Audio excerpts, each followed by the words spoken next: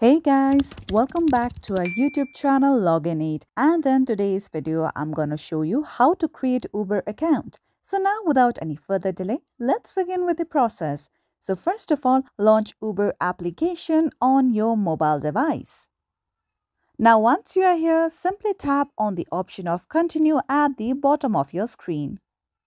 With that, you'll come to this page. Now, you can either start by entering your mobile number or you can also continue with Google or continue with your email address in order to create your account.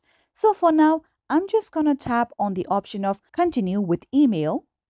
Now, you have to enter your email address here.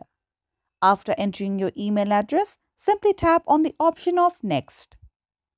Now let's wait for some time until the page is loading.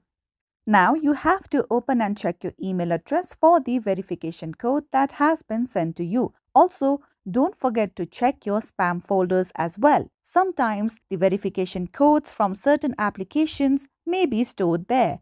So, open your email address and enter the code. Here we go.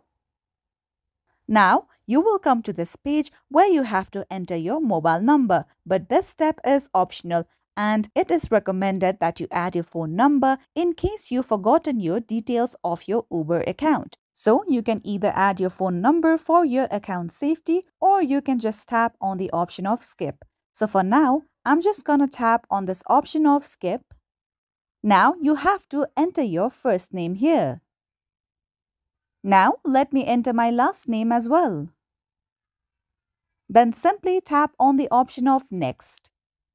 Now you'll come to this page where you have to read Uber's terms and review privacy notice. After reading on these details, simply tap on the box below that says I agree and then tap on the option of next.